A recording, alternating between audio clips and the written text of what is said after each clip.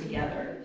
So there was up to ten children living in the home. So Yes, so the first owner of this house, yeah, so he had a big frame house, and then the second owner added a full second floor with a ballroom addition. Lay your sugar cone, show off your wealth a little bit, um, because it's imported, and then to make it into a white cone is processed. I think it's kind of like a imitation coffee. And there's a bedroom? Oh, Is one, two bedroom? Yeah, it used to be one bedroom, but then they divided it and made it two. That's, she used to sleep over there. Um, but that became the larder where they would put dry goods and stuff in there. And then she was moved, but we don't know if it was true or not. So, business. That's all, all they thought about was business back then. So, how to make, when she came to here. But I'm not sure. It's just, but the, this is, actually, they have a picture of the queen sitting at that, that, uh, chair and desk. Oh. And that room leads to the caretaker uh, house on the other side who used to look after the house in the in 1950. Okay. This wouldn't melt. That's, Okay, that's that's the, the whole thing. And I, Yeah. You did? Yes. Oh, okay.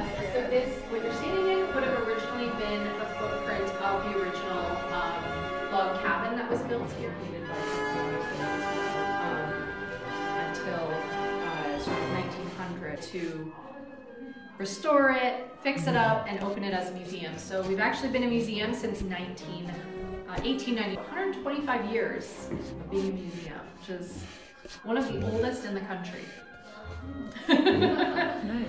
when when people come from like overseas and like Europe, they're like, "Oh, that's not old." it's like, it's old for Canada. Like, it, uh, it's very funny because you can go to like the UK and they have like a church that was from like 900, and it's like it's old for us. So our oldest museum is is 125. It's very quaint. Thank you. yeah, no problem. Thanks.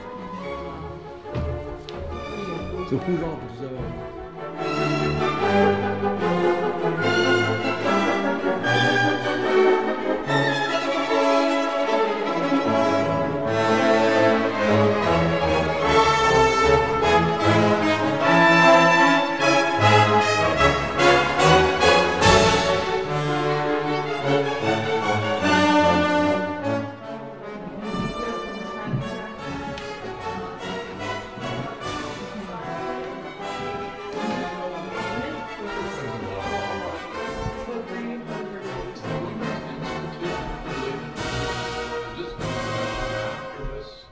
It would have been around the same There's a time. Ridge Road, they have that Women's Institute thing. Yeah, I'm trying to remember, but I know, I know she was around the same time as Albany and connections be- between, Yeah. between, Maybe, um, that possibly was not. like, um, a really like success.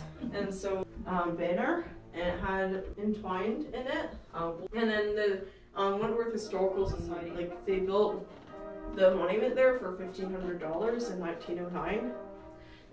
And then, um, presently have um, soldiers bur- buried there um, across the street there. But yeah, yeah, so pretty pretty cool history and everything. It's a lot of This room stories. is, is fairly new, right? 1926. I don't remember being. I don't know, but I I know it's been There's I a Renault right up here for the last couple of years. like all like all the, the staff. Yeah. So she was like one of the first fe- um, there that she didn't ever believe in fa- failure. She didn't let anything failure or and at the um, age of 16. Them only lived to 18, the other 35, and all the rest were like um, like ba- babies, like between one and two years old. Horse stories to it. Yes. And it's like no help. She she like Stoney Stoney Creek and Hamilton.